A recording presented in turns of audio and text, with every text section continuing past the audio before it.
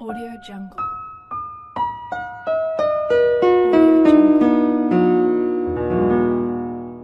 Meet Axel.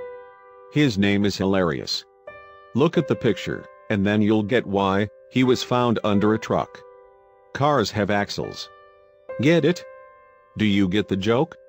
Do you? Axel was discovered by a Reddit user, all tucked away under his truck. The man who found Axel tried to wait with the kitten to see if his family showed up, but the mom and the other kittens were nowhere to be found. When they didn't show up, the man sent a picture of the kitten to his wife and asked if he could bring the little guy home. So the couple took Axel in, not only to their home, but also to the vet.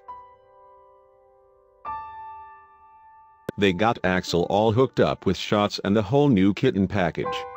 It turned out that he was only four or five weeks old. Axel loved the new home, which was complete with a 19-year-old cat and a 2-year-old dog.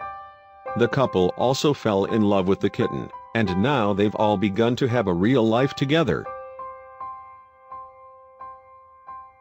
They both say that Axel has been a great new addition to their life, and that they are so glad that they found him and brought him into their home.